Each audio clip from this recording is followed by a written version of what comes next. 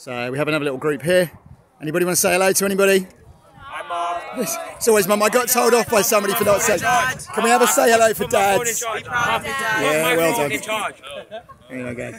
So they, they're still happy despite. And mum. I left her in charge. Put it back in. Yeah, yeah.